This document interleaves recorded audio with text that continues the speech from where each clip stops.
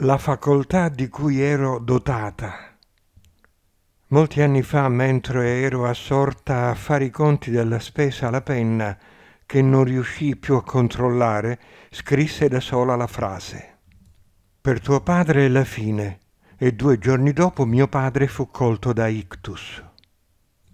Due mesi più tardi, quando sembrava in via di guarigione, scattai dalla scrivania all'improvviso gridando Sento che sei morto, dammi un segno.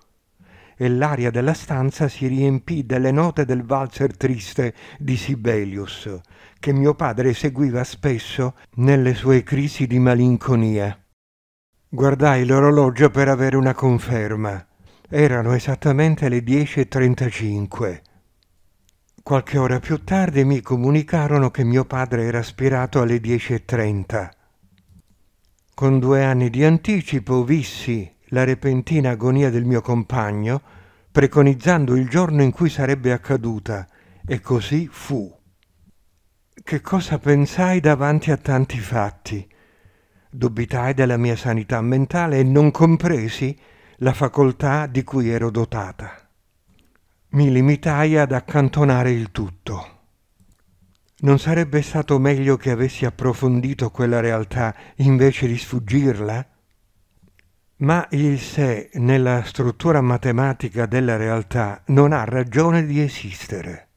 Mi ostinai a ritenere una stranezza o una semplice coincidenza, anche la potenzialità paranormale della mia famiglia.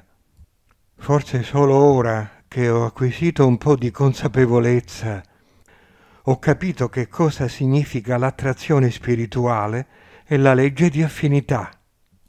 I miei due figli sono dotati di una forte potenzialità, anche se sono collocati su due livelli spirituali ben distinti e per entrambi questa potenzialità è da sviluppare ulteriormente.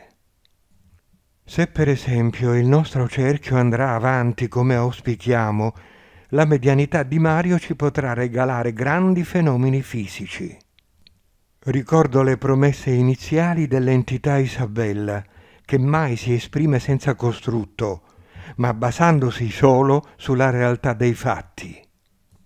Giuseppe, l'altro mio figlio, è dotato di una medianità diversa, che non include fenomeni imponenti, ma che trasmette insegnamenti preziosi perché preziosa è la sua anima incarnata in un involucro destinato a tante sofferenze che auspico sia in grado di vivere evolutivamente.